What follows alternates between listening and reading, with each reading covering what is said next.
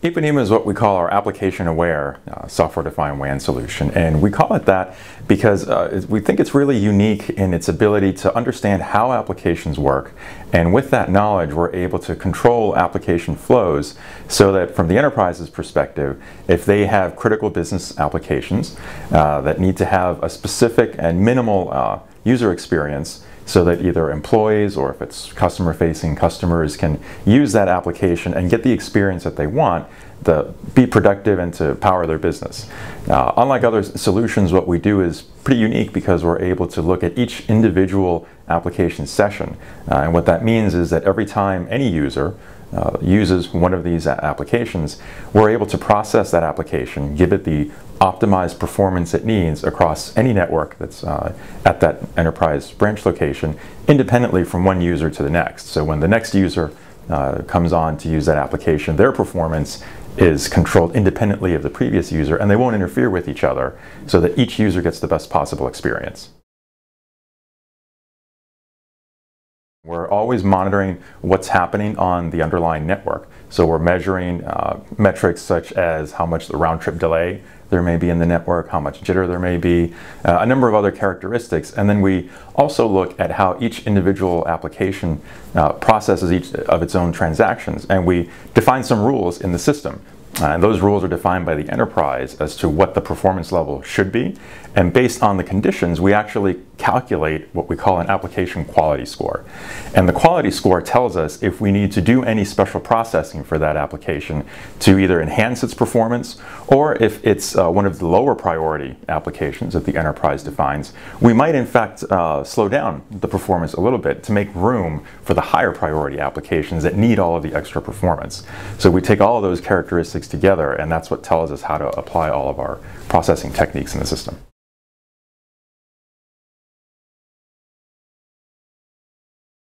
So the in interesting thing uh, with software-defined WANs, uh, particularly for banks and financial institutions, is that it allows us to look at the applications running on the network independently from the network itself. Uh, and really what that translates into is we see most banks and financial uh, services institutions deploy multiple networks to all of their branch locations. Now they, they do that and create this hybrid configuration really with the goal of optimizing by application what the best network path is.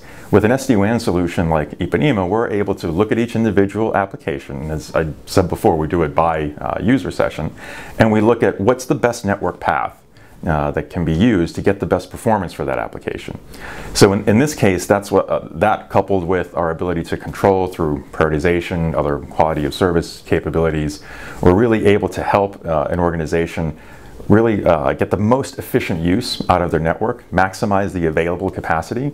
Uh, in, in turn, that means that they typically can avoid costly network upgrades and defer those to later after the traffic has grown to a certain point where they've added more users.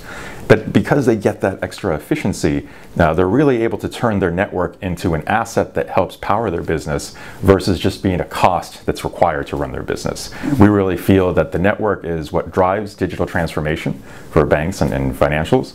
And as a result of that, uh, what we find is that banks are able to really uh, enhance all of that transformation and roll out new applications. Uh, we especially see migration to the cloud, uh, cloud-based applications like Office 365. We also see a lot of unified communications, these are applications like Skype for Business.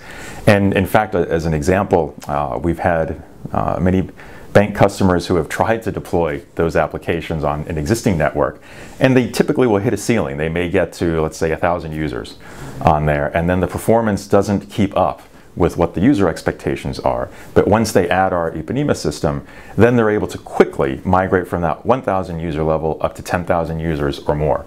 We've had uh, one example bank customer in Belgium who took six months to get uh, the first 1,000 users onto the system before deploying Ipanema. Once they added Ipanema into their network, it only took them 90 days to get the remaining 10,000 employees online. Uh, so dramatic differences uh, that, that we see just by deploying this technology. So one of the interesting things that we find uh, when organizations have put Ipanema in is because of the ability for the network to now really enhance uh, all of their business critical applications. In the case of banks and financial institutions, there could be trading applications that have a strong requirement for real-time data. In a normal network where the real-time data is delayed anyway, that could actually cost real transaction and cost real uh, sales uh, to, to, just disappear from those delays. With our system in place, what we find is that organizations are able to point to a benefit by avoiding any poor performance in applications and directly connect that to new revenue sources that are driving their business and helping them grow. Uh, so we think that's really one of the most powerful reasons for why organizations deploy Ipanema. It really does allow them to add new revenue sources and it allows them to truly enable growth in the existing revenue sources they have by avoiding and preventing poor performance on their network.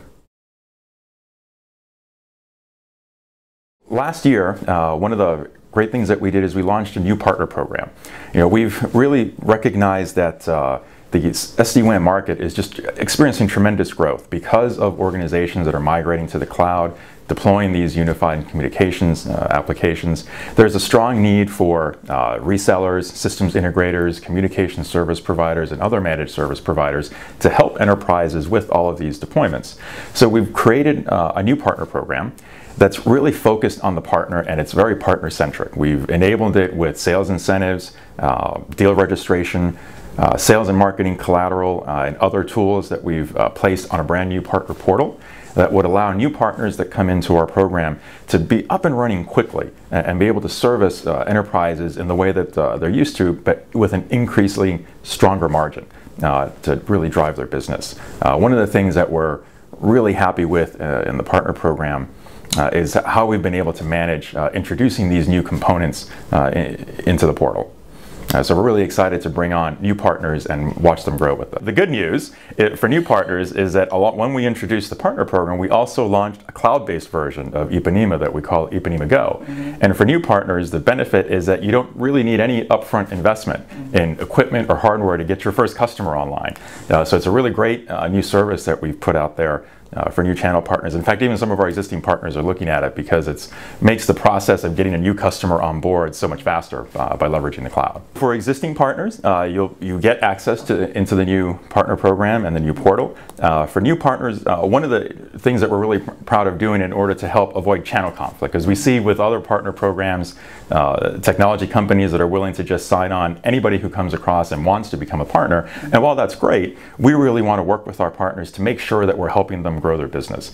So to do that, we're being careful about making sure that on a regional basis, we don't have too many partners that are going to compete with themselves for the same customers. We want to work with those partners to make sure they're going to get market share in the regions that they support. Uh, so that may mean that sometimes we uh, don't accept necessarily every partner that comes across, but we really look at that carefully with the potential partner to see where the best fit is uh, in the program globally.